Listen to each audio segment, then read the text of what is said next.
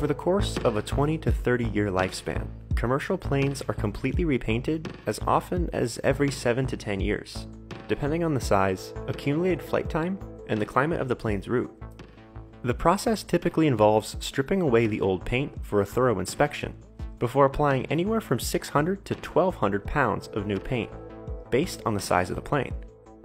And it's estimated that repainting a large Boeing 777 can cost 100 to $200,000 each time.